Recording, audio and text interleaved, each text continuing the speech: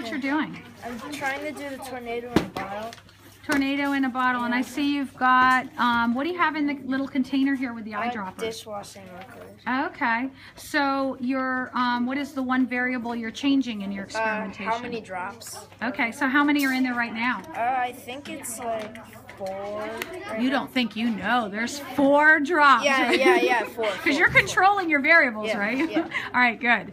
And so, um, what the with um, what are you measuring then Um, with your tornado? well, I'm trying to see like how the tornado, like how big the tornado will be, or like how you will be able to see it, because if it shows up good or not. So, I mean, but you have to have be able to measure it. Some your visible changes. So maybe you could measure the um, the height of the foam after shaking it for so many, you know, seconds or a minute, and then measure that height in centimeters. Okay. Okay, because you want to be able to collect that data um, to show the impact of that one change on the system. Yeah.